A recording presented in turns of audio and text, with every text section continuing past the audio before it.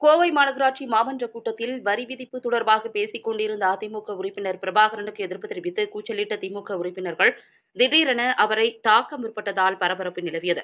இதையடுத்து அதிமுக உறுப்பினர்கள் கூட்டத்தில் இருந்து வெளிநடப்பு செய்தனர்.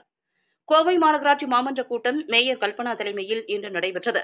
கூட்டத்தில் அனைத்துக் கட்சி மாமன்ற உறுப்பினர்களும் கலந்து கொண்ட நிலையில் அதிமுக உறுப்பினர்களான ஷர்மிளா சந்திரசேகர் பிரபாகரன் ரமேஷ் ஆகியோர் தமிழக அரசின் சொத்து வரி உயர்வுக்கு கண்டனம் தெரிவிக்கும் விதமாக கருப்பு சட்டை அணிந்து கலந்து கொண்டனர். முன்னதாக கூட்டம் நடைபெறும் விக்டோரியா ஹால் முன்பு மூவரும் மாநகராட்சியின் நூறு சதவிகித வரி உயர்வுக்கு எதிராக கண்டன வாசகங்கள் அடங்கிய பதாகைகளை ஏந்தி கண்டன முழக்கங்களை எழுப்பினர். பின்னர் கூட்டத்தில் கலந்து கொண்டனர். தொடர்ந்து மாநகர பகுதிகளில் மேற்கொள்ளப்பட்டு வரும் பொது சுகாதார பணிகள் குறித்து பேசிய திமுக உறுப்பினர்கள் கடந்த ஆட்சி குறித்து விமர்சித்தனர். அப்போது குறுக்கிட்ட அதிமுக மாமன்ற உறுப்பினர் பிரபாகரன் திமுக வரி விதிப்பு குறித்து பேச முற்பட்டார். அப்போது அவருக்கு வாய்ப்பு வழங்கப்படாததால் சிறிது நேரம் கழித்து கடுமையான வரி விதிப்பால் மக்கள் பாதிக்கப்படுவதாகவும் எனவே அதிகப்படியான வரி விதிப்பை ரத்து செய்ய வேண்டும் எனவும் வலியுறுத்தினார்.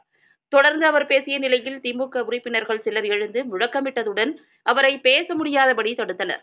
மேலும் சில உறுப்பினர்கள் அதிமுக உறுப்பினரை திடீரென தள்ளிவிட்டதால் கூட்டத்தில் பரபரப்பு நிலவியது. இதையடுத்து தான் கையில் வைத்திருந்த காகிதங்களை மாமன்றத்தில் வைத்தே கிழித்து எறிந்ததுடன் அங்கிருந்து முழக்கமிட்டபடியே அதிமுகவைச் சேர்ந்த உறுப்பினர்கள் வெளிநடப்பு செய்தனர்.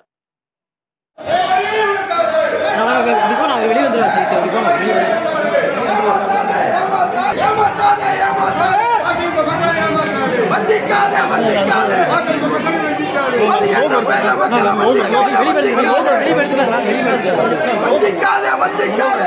வாக்களித்த மக்கள் வஞ்சிக்காதே. வஞ்சிக்காதே வாக்களித்த மக்களை வஞ்சிக்காதே